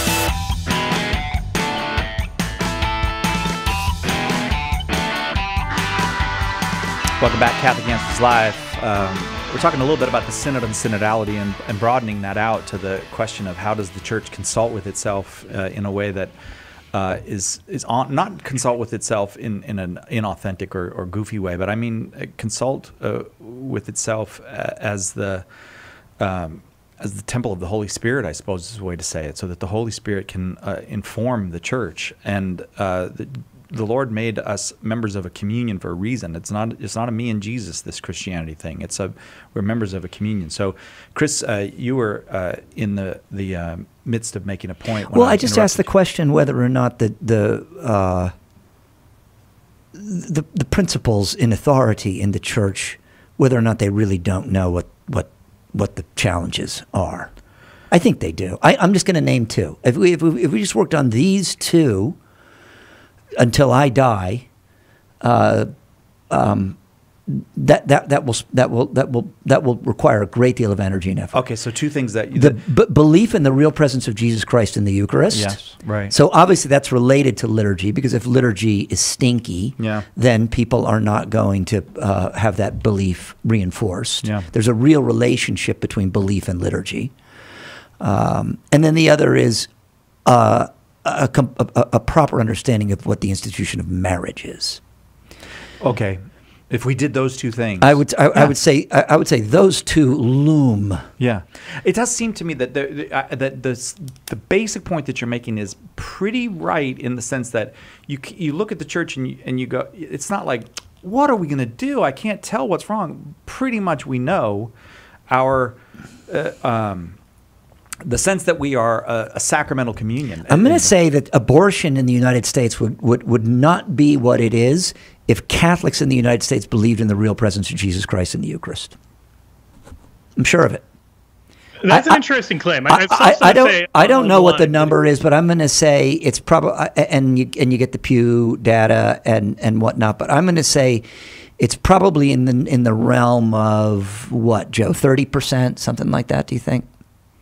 Of thirty percent, what? Oh, believe in yes, it's about a third said they believe in the real presence. I Yeah. thought you were going with the uh, Yeah. the abortion question. No, no, no, no, no. Who, uh, of Catholics who, who believe in in the real presence of Jesus because there, Christ. there's certainly a connection between those who believe in Chri- the real presence of Christ in the Eucharist and are pro-life. People will often say, "Well, Catholics are like 50-50 on the on the life issue." Well, not if you uh, control for certain things. So you can't believe in the real presence of Jesus Christ in the Eucharist and also think abortion is okay. That that's just not possible. Yeah. Yeah, so the Pew actually it has some stuff on this which I've got. They asked whether the uh, phrase "human life begins at conception," so a fetus is a person with rights, was a good descriptor of the views of different Catholics. And people who went to mass weekly or more often, seventy percent said, "Yeah, that's a good description," and another thirteen percent said it somewhat fit. Only fifteen percent opposed. That seventy percent is halved among those who attend less often. Only 35% agreed with that idea. So, I mean, the data is all there. Like, if you don't go to Mass, the odds that you are pro life are way lower. Like, the two are intimately connected. But it may Uh, be that you What- don't what go to mass what is- because you what- with. What is the percentage of Catholics in the United States? About is about twenty four percent, something like that. Don't, I'll look it up. Some, something like It's a, it's You make about your it's, point and it's look it about it's about a fourth. That would be, and and I, and I don't want to reduce this to voting because I don't actually think that's the principal problem with abortion that we've just voted wrong. But that would be a twenty five percent is a massive cultural force. 22 is the number I got. Okay, fine, twenty two percent. Yeah, I saw 22 and 23. You were way off, Chris. Yeah, Yeah, right. that is a massive cultural force for good. Oh, and sure. If it, and if it begins with belief in the source and summit of our faith, in, in, in topic of our conference, the the the real presence of Jesus Christ in the Eucharist, it would it would transform the temporal order. It would transform the temporal order, which is what the laity are supposed to do. That's what the laity are called to do. Transform the temporal Although, order. yeah, I, I think all that's true. But I want to make sure we, we're not saying you should believe in the Eucharist because it's a really convenient means to an end. No, I- of It's course like, I'm not the- saying Even that. if the no, I know you're not, but I want to just really draw that out. That it's not just like if people had this belief, it'd be helpful. Think about how life changing it would be to people if they really understood the gift that God was offering them every day in the Eucharist. I mean, it's it's really uh, incredible, awe-inspiring, but also depressing when you think about how few people realize what God is offering there on the altar. That you can, I mean, the idea you can go in a room and be with God is stunning. And I, I mean, that's it's Yep. it's children. th- But this strikes me Yes. as if, if, if what the two of you are saying is true, and I suspect that it is Mm-hmm. true, then all the bishops who say, like you, you're in that it depends category. yeah, but, but let's say that it is, then all the bishops who say we should be a less political church are right. That Yeah, we I- should be a Yes. less I political agree. church. I agree. If we would, if we would stop all of the politicking and focus on evangelization and catechesis and invitation and we would actually be more politically successful if we were less political. This is true, however, Si, when, when, when a certain uh, percentage of that demographic who say the church should be less political, they, it, what, what they are really saying is that Archbishop Cordileone should not tell Nancy Pelosi that she shouldn't come to communion. That's what they're that's what they are that's what they mean. But if they if they actually mean turn your attention, as G.K. Chesterton says, let your religion be more of a love affair, right? Turn your attention to love of Jesus Christ in the real presence of the Eucharist. Great. That is that, and that will transform the, the that will transform the temple order. But, I- but I gotta say, I mean, supernatural even, even on the thing with uh, Nancy Pelosi, it's a prudential judgment. I mean, I can. but it's not a political judgment. It's nothing to do with politics. Oh, I see. I, I do Just think there's- because she's there's a sort of politician. issue where, Oh, I right, see. if all you have is a, ha- a hammer, everything you see is a nail. At least if you're my son. uh, you know, so there's that sense in which the son. people who are most obsessed with politics think everybody else is acting in a political way, even Oh. if they're not. I think even this- if they're acting in a way that's. This is you an know, This American. is the people you hear say it, like, be less political, are not invariably, but darn close. Way This more is an if I- American affliction, by the way, especially. Uh, yeah, the we- emphasis on politics. Right, because uh, yeah, there's a certain way in which our form of government makes uh, everybody the king in a certain way, and so everybody feels I, I gotta. Every, everybody uh, has the illusion that their vote is doing something. I want to Yeah. circle back, if I may, and I do love the phrase "circle back." Um, the well, I started by t- just talking about. I, I, I gave you my thesis that what Pope Francis is doing with the synod and synodality is trying to solve what is actually a very real problem. Uh, that other popes have tried to solve, and I mean, uh, you could think about John the Twenty Third with the Second Vatican Council. You th- can think of John Paul II with uh, his constant uh, synods on the Americas and synods on Asia and all that. Uh, but I don't think any of them solved it, and I don't think Pope Francis has solved it. Say again what the problem is. The problem is that the the church, the model of the church that we're giving, we're given in the New Testament is one of consulting together in order to listen to the Holy Spirit, and we haven't figured out how to consult together as a, as a worldwide church. We have not figured it out. I don't agree. Joe, I'm. I, it's I up to you to decide. two, You're the which is- tiebreaker. I, you know, I, I fall in between as often is the case, Huh. but I do think that like papal autocracy, eh, which is sometimes the default answer the church has gone with, is kind of an easy solution. Like one of the problems is if the church is going to be making interventions at a global level, there is a need to know what's going on globally. I'll, I'll give you an example. a friend of mine is a priest from the Congo, and uh, one of our mutual. Actually, sorry, actually, no, sorry, it was a, an- another friend from the Congo was was telling me this story. Uh, he was saying he was raised by his aunt and uncle, and they were good Catholics, except his uncle had four wives, and so I guess Lincoln? his aunts and his uncle. Uh, yeah, exactly. but it was it was striking because it, it showed the uh, the marital issues that they were dealing with in his diocese were very different. Like at least we have the wives sequentially rather than all at once. Still a violation of the same chapter and verse. that's a funny way to put it. Yes.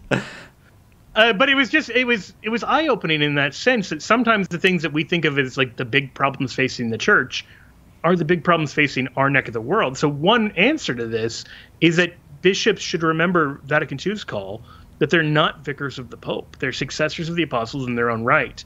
And as bishop of the diocese, hopefully you have a sense of what's going on in your corner of the world. Yes. And and can intervene in an appropriate way because Yes. it may not be the same thing going in on In consultation with your clergy. Uh, in fact, Yes. Si, this is something that you and I, the church has to be in in in application and practice considerably decentralized.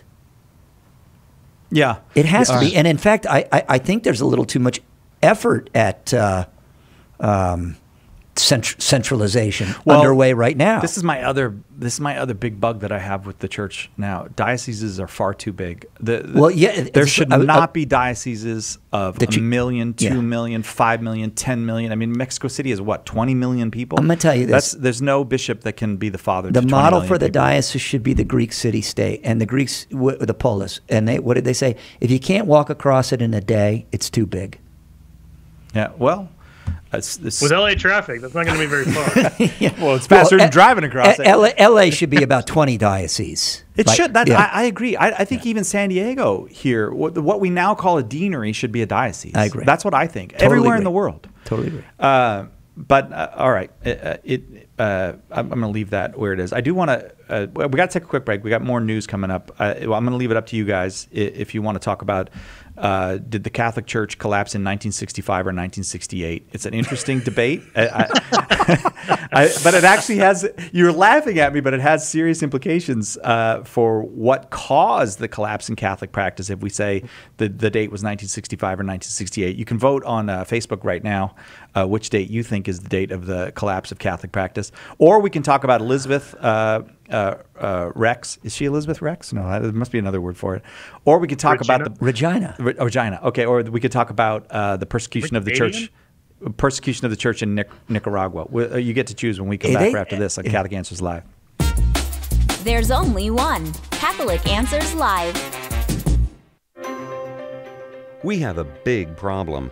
Our culture is dying, and souls are in danger of being lost. The answer is conversion to Jesus Christ in His church. St. Paul Street Evangelization is a Catholic organization, and we have hundreds of teams spreading the good news throughout the country. But we need your help. The harvest is great, but the laborers are few. Find out more and get involved today at streetevangelization.com. That's streetevangelization.com.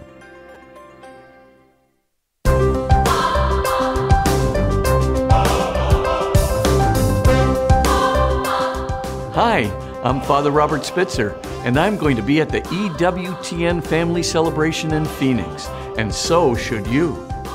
Make your plans now to attend the EWTN Family Celebration October 1st at the Phoenix Convention Center in Phoenix, Arizona. Find out how you can be a part at E EWTN.com slash family celebration.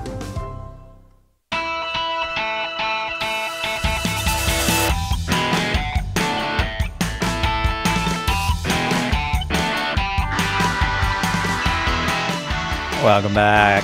Catholic Answers Live. I hate when the flannel panel is, is uh, coming towards its conclusion. I always feel relieved when it's over, but I hate when it's coming near its conclusion.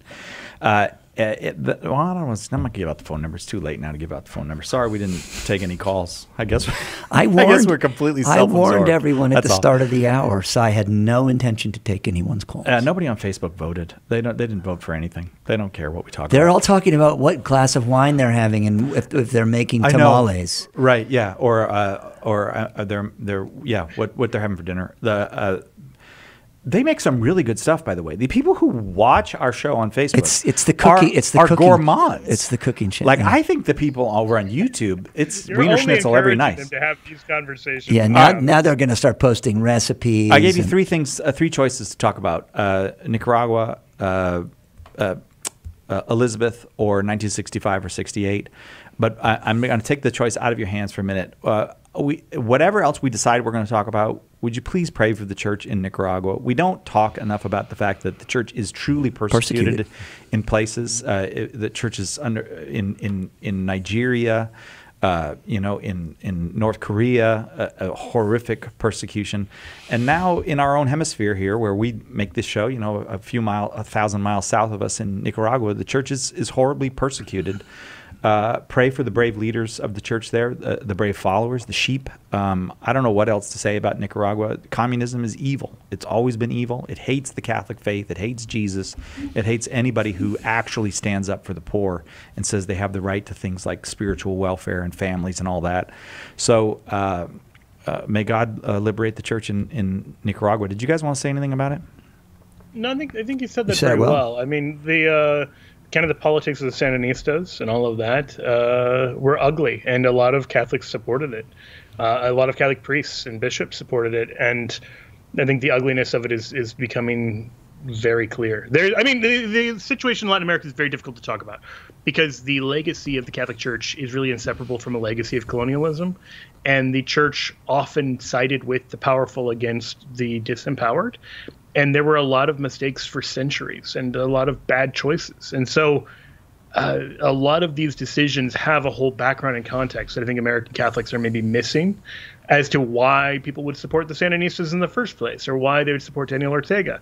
Uh, but it doesn't make it okay. I mean, it's it, but it's it, like with many of these places, you see the sins of churchmen kind of revisited upon their sons and daughters.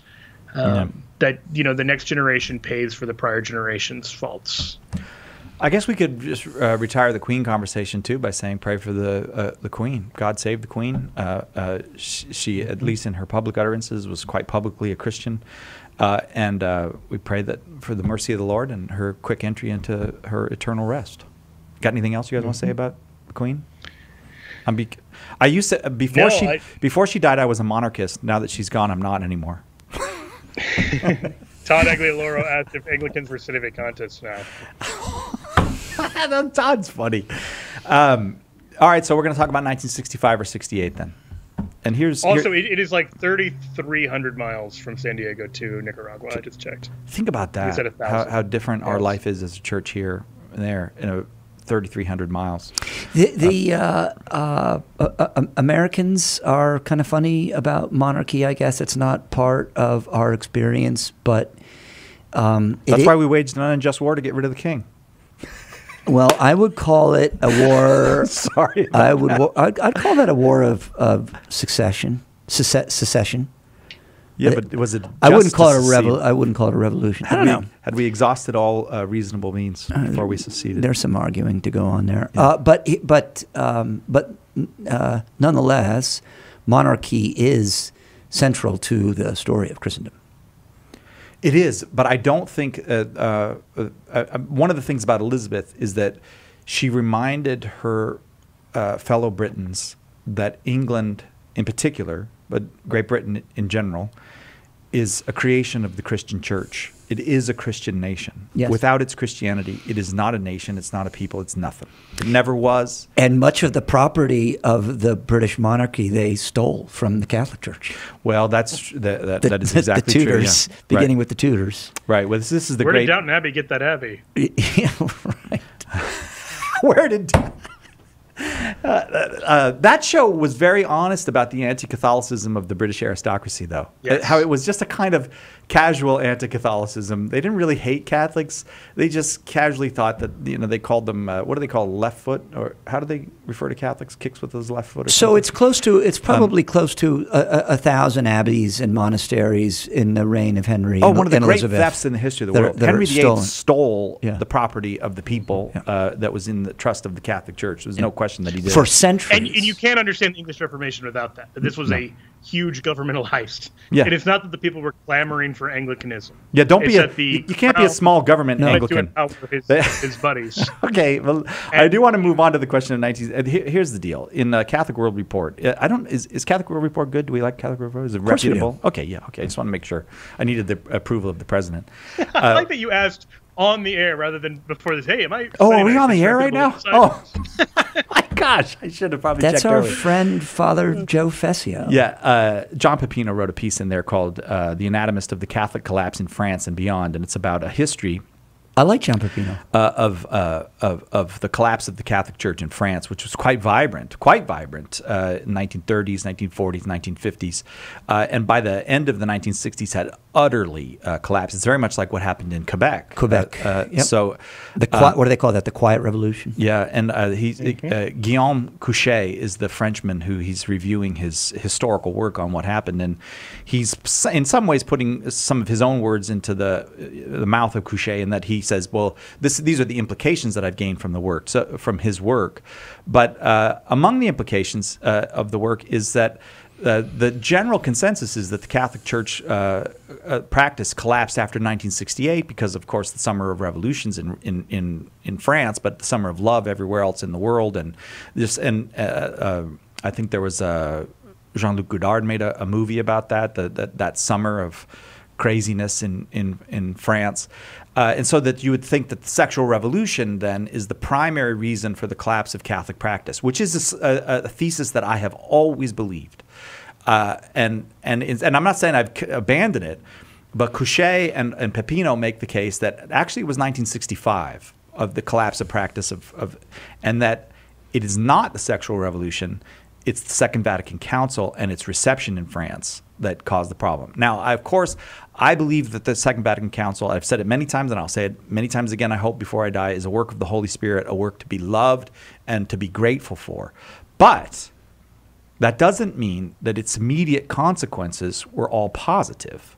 And I think it's legitimate to ask, uh, just on a sociological basis, what is the cause of the collapse of Christianity in France and, by extension, much of the rest of the world?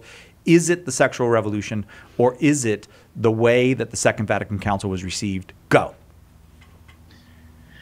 Yeah, I think there's a, a wealth of data suggesting that it, it, was not primarily about Humanae Vitae. It was I, I lean towards the 1965 thesis. Uh, Rodney Stark and Roger Finke have a piece uh, in Review of Religious Research called "Catholic Religious Vocations: Decline and Revival."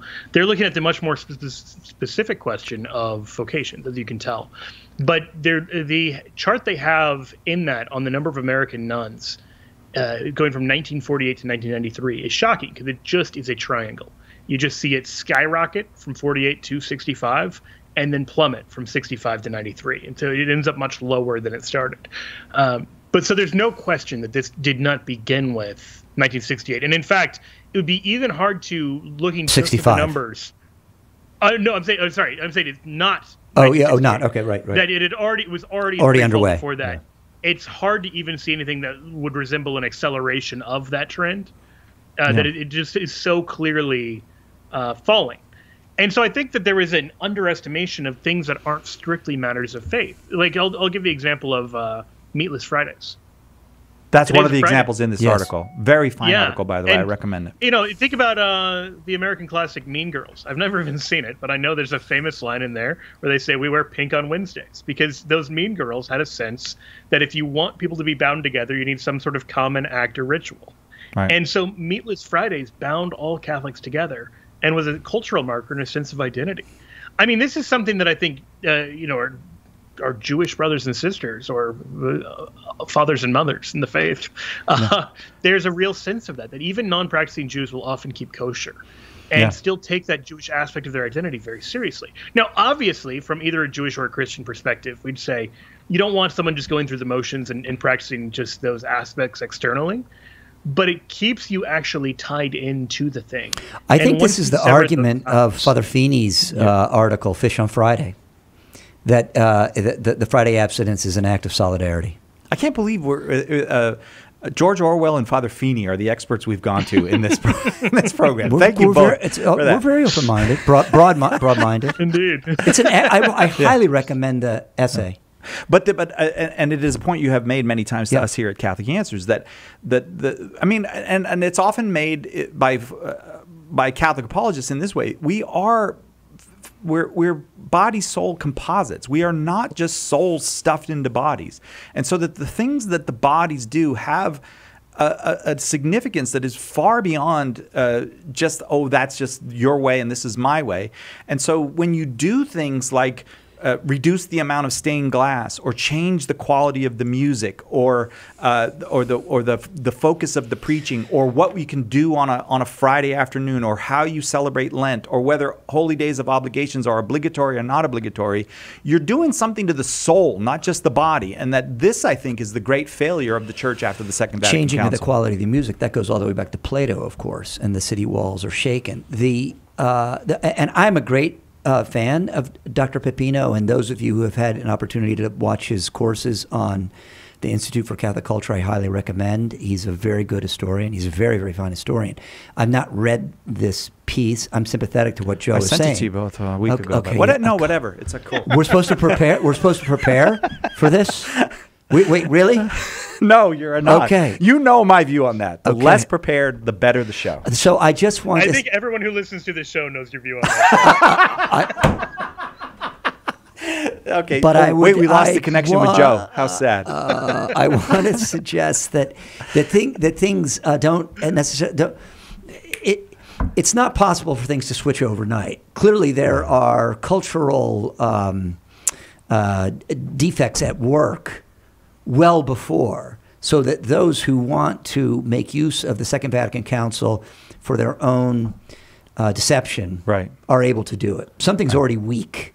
And I think that certainly was true here in the United States. Well, that's the problem, I think, with yeah, surveys it, it that tell us about. It does not seem to be Vatican II itself. That's the problem. No. Because the things that are going on that are really controversial and seem destructive, you would have a real hard time finding yeah anyone actually saying that in the council. Well, I would also throw out the fact that the Second World War was shattering to the faith Sure. of many people, and the Holocaust in particular for Catholics, because of our And the, complicity ad, and in the, the, atom bomb. And the atom bomb. And and so we have we shouldn't overestimate the health of Catholicism at its core in the 1950s. Yeah. It was a traumatized Catholicism, but uh, the way we responded to that trauma was ultimately uh, destructive. We and I, and I a- will also would not dismiss the fact that the sexual revolution profound the, and the and the birth control pill also profound challenges uh, to Catholic practice. But that Can doesn't I give a 20 second Go. pitch? You got 20 for seconds. Parishes and dioceses. Do things that cultivate a sense of spirit. People are more disconnected from everyone around them now than ever before. So if your parish is a, a hub of activity, Eucharistic processions and the like, you can create that sense of identity and help restore some of what's been lost in 65. and do it incarnate. Don't do it on a screen. Joe Heschmeyer, thank you.